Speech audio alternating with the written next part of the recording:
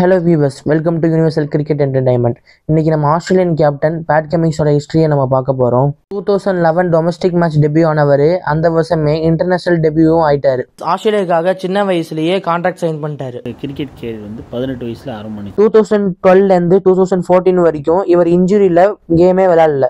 ரெண்டு வருஷத்துக்கு அப்புறம் மறுபடியும் two thousand fifteen ICC men's ODI world கப்பில் ரெண்டு மேட்ச் தான் விளையாண்டாரு.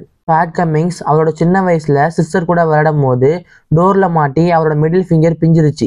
ஒரு ஃபாஸ்ட் பவுலருக்கு முக்கியமான விஷயமே கிரிப்னஸ் அந்த கிரிப்னஸ் வந்து மிடில் ஃபிங்கர்லேருந்து தான் கிடைக்கிது.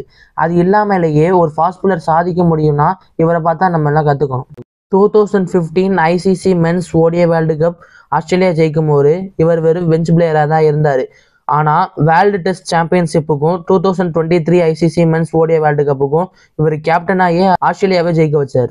ஆஸ்திரேலியா இங்கிலாந்து விளையாடுற ஆஷிஷ் மேட்ச்சு கேப்டனாக இருந்து ஆஷிஷ் ஜெயிச்சிருக்காரு. இன்டர்நேஷனல் கிரிக்கெட் ஸ்டாட்ஸை பார்த்தோம்னா டெஸ்ட்டில் இரநூத்தி அறுபத்தொம்போது விக்கெட்ஸ் எடுத்திருக்காரு. ஓடிஏல நூற்றி நாற்பத்தோரு விக்கெட்ஸ் எடுத்திருக்காரு. டி டுவெண்ட்டியில் அறுபத்தாறு விக்கெட்ஸ் எடுத்திருக்காரு.